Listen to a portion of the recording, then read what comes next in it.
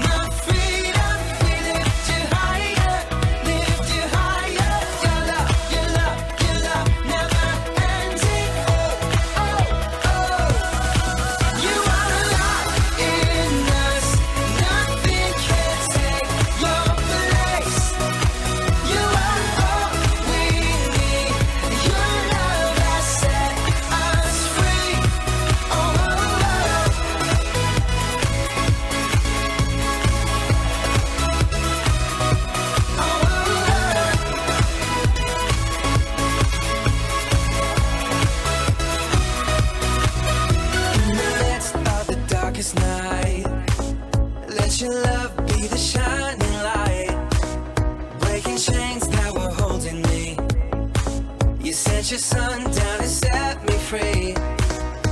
Everything of this world will fade. I'm pressing on till I see your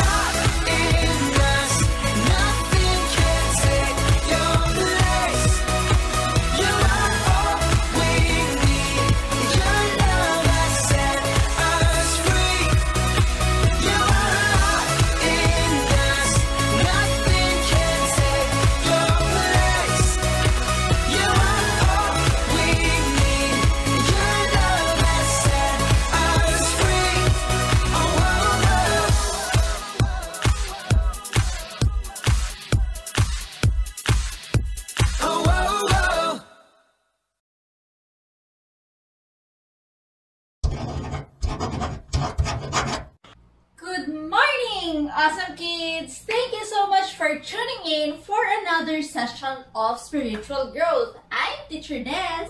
We are now on Talk 9, which is about the law against revenge entitled New Human.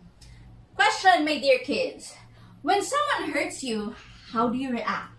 For example, when your little brother accidentally destroys your favorite toy, what are you gonna do to him? Or when your classmate hits you, do you hit back? Be honest, my dear kids. You usually fight or answer back? When we are in pain, our feelings will make us seek for revenge. Thus, sometimes we go into fights or into verbal arguments. We also sometimes wish ill for the evildoers. And when we see them suffer, we even say, Buti nga sa'yo. It is something that is very natural for us human beings to retaliate or seek punishment to those who hurt us. It is something that is wired in our brain to readily protect ourselves. In the same way that when a mosquito bites you, you feel the pain and instantly, even without thinking, you slap it with your palm. This is called self-preservation. Can you say that again? Yes, it's self-preservation. It's an old law of justice where we seek an eye for an eye, a tooth for a tooth. Self-preservation actually comes from fear. However, as followers of Jesus, we're not just any other human beings. We are bigger than our human nature. And that's our big message for this Sunday. I am bigger than this. Put your palm on your chest and say, I am bigger than this. Yes, my dear kids, when Jesus came to earth, he debunked the old law of self-preservation to make way for a new humanity who will think and act differently. Do you want to be part of this new breed of humans? Instead of self-preservation, Jesus calls us to self-sacrifice. Say that again, self-sacrifice. For us Christians, self-sacrifice is who we are. It is the essence of our being. In Romans 12, chapter 19, St. Paul said, Dear friends, never take revenge and leave that to the righteous anger of God. This is the meaning of self-sacrifice. That we allow God's justice to prevail and not take matters into our hands and trust that God is a righteous God. So how do we not take revenge and practice self-sacrifice instead? As followers of Jesus, there are three things that we need to sacrifice. Number one, pride. When someone insults us, we feel bad because our pride is hurt. For example, when your classmate tells you, uh, your drawing is awful, that would definitely be very painful. What you can do is to remind yourself that you are bigger than this, that you are bigger than your pain, that you are a giant, that you are loved by a giant, great God. When we let go of our pride, we will be able to focus our attention on serving our purpose and loving others more. Number two, rights. I don't mean your basic human rights, but rather your entitlements. Remember, Jesus had a rightful seat at the throne, being the Son of God. But what did he do? He gave up this right for the sake of love. There are also so many things that are rightfully yours that you can give up so you can love bigger. For example, when your little brother really loves your favorite toy, you can be a bigger person and your heart will be fuller if you can sacrifice for his happiness. Number three, comfort. More often than not, we want so many nice things. The latest gadgets, toys, trendy clothes, food, shoes. And we want them now. No one wants inconveniences or discomfort. However, we can also sacrifice our comfort because there are so many greater things than the things we want, like relationships, peace, love, friendship. Let me tell you a story, dear kids. I can't tell you how many times I've seen kids throwing tantrums in the mall because their parents are not buying the items that they are pointing at. And so in the hope of forcing their parents and getting back at them, they misbehave. But then if you think of it very clearly, my dear kids, isn't family more important than toys? Isn't having food at home a blessing already? When we do not focus on our comfort, we will be able to love and serve more. Jesus is asking us to embrace this new teaching that instead of self preservation, we move to self sacrifice. That's why our big message is I am bigger than this. He is calling us to rise above our human nature of seeking revenge by sacrificing three things. What are those three again? Pride, rights, and comfort.